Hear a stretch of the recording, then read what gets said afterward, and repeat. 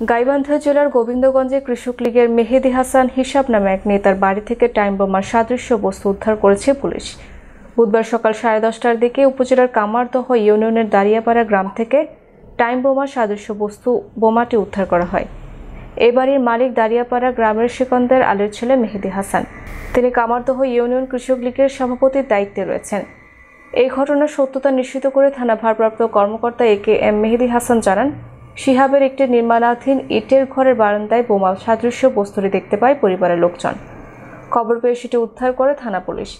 Time বোমার সাদৃশ্য বস্তুটি আমাদের দৃষ্টিতে সক্রিয় নয়, পুরো ঘটনাটি তদন্ত চলছে।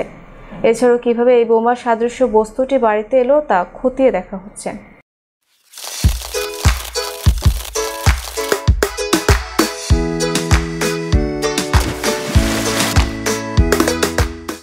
Saima super shop. সাশ্রয়ী মূল্যে সর্বোত্তম পণ্য।